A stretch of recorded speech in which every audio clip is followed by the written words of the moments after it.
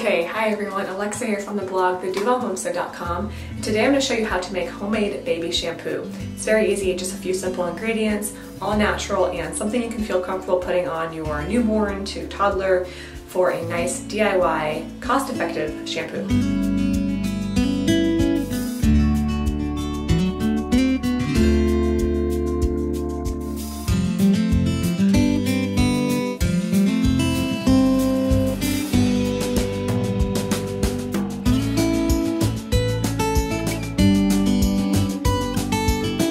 Apologize for this lighting. We are in my bathroom, our guest bathroom right now, and there's big sunlight right here. I don't really know how else to get around it, so. Also, my baby's napping right now, so that is how I'm filming this video. So I'm talking a little bit quiet because she's actually in the room next door. So I am very happy to be filming this video because we have been out of town for a little while and I have cut my videos on YouTube down to every other week instead of every week because we were out of town, but before that, my baby was just not napping and I was struggling to find even 20 minutes of time during the day to do anything without her.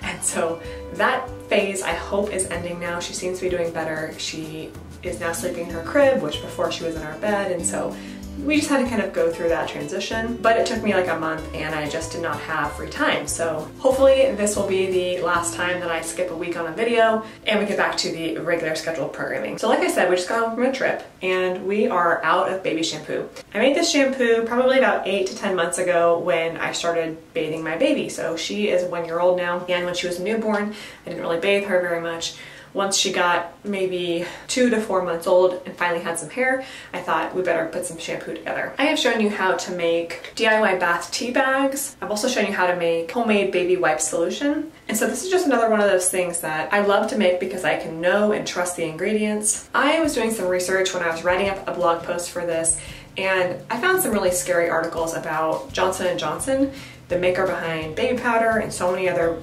products are labeled, you know, gentle for baby, baby wash, that kind of thing. And they have actually something like, I think it was 30,000 or more lawsuits pending for some ingredients that are listed in just their baby powder. And for so many people, Johnson & Johnson baby powder is such a staple in their house. Many ingredients used in baby products today are actually potentially very harmful. In fact, the United States FDA has many ingredients that are approved in food and products that are not approved in many countries around the world. For example, some food colorings like Red 40 and Yellow 6. Many European countries don't allow those ingredients, but the US does. The India National Commission for the Protection of Child Rights ordered Johnson & Johnson to recall a batch of their baby shampoo because they claimed it contained unsafe levels amount of formaldehyde. Two years ago, Johnson & Johnson stopped manufacturing baby powders that contained an ingredient called talc because it was discovered that talc contained asbestos, a cancer-causing agent. Again, talc is an ingredient that is banned in Europe but is safe in the United States. So the more I research this topic, the more I become skeptical about the things that our government says are safe. And aside from all of that, I know for a fact that companies' number one goal is profit, and when they advertise things like natural or baby friendly, they are doing that to get you to buy the product, not necessarily because the ingredients are actually that way.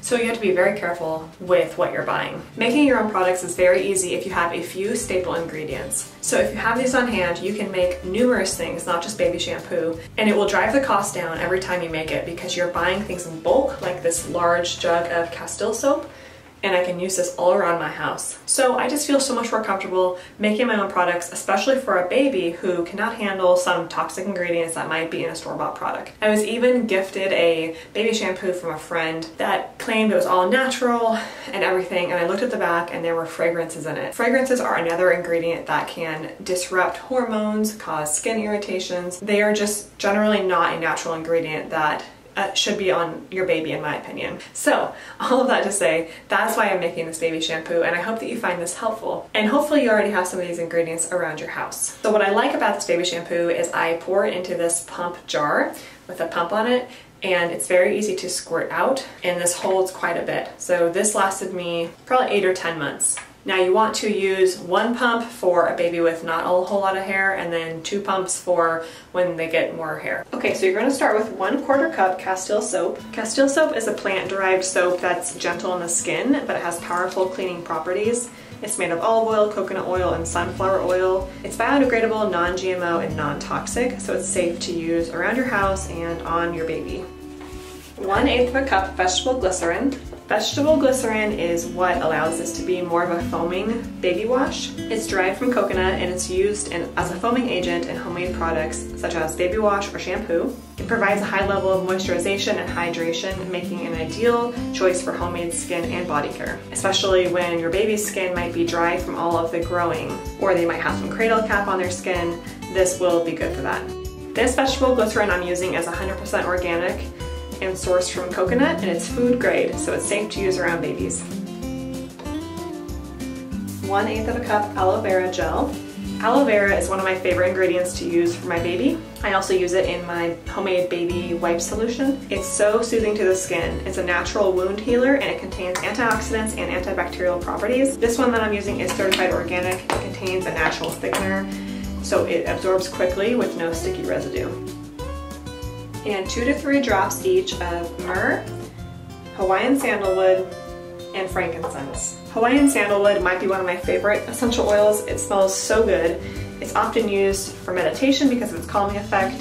Very good at soothing the skin. It's anti-inflammatory and antimicrobial. It's used for acne, eczema, warts, and other skin issues. That's why I like to use it in this shampoo because it's good for baby's cradle cap. Frankincense is another really good one. It's good for the skin. It has anti-inflammatory properties. It also supports the immune system and a study showed that it helped in the aid of killing tumor cells and that study is also linked in the blog post. I like to do my research on these oils and find out what they have proven because there's really not a lot in our society today about natural medicine, so I try to become as self-educated as possible. You do want to be careful because essential oils are very powerful. You want to use a very small amount of essential oils and always dilute it.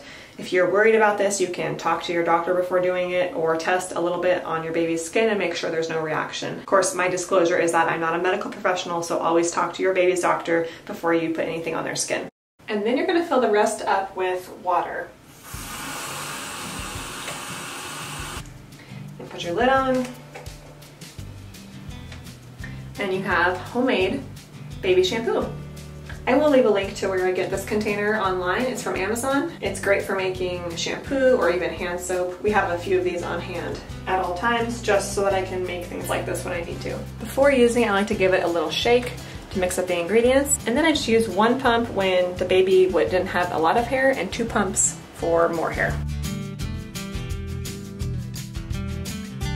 Alright, well thank you so much for joining me in making homemade baby shampoo. I hope you found this helpful. If you want to print the recipe out, head over to the blog post, there's a free printable there. I also have a free label that you can stick right onto the bottle so you don't forget what's in it or the ingredients. So head on over to the blog post and get that for yourself as well. Alright, well if you're brand new to my channel, please hit that subscribe button. Every week, most of the time, I post a new farm to table recipe and homemade natural living. Thank you so much for stopping by the Duvall Homestead.